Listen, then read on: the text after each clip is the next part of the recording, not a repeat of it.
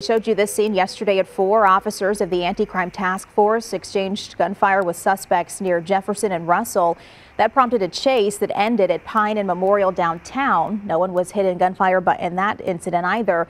Police, though, did arrest two men. Well, today, police released these pictures of a firearm and a drum magazine that were recovered from the suspect's car. No injuries were reported.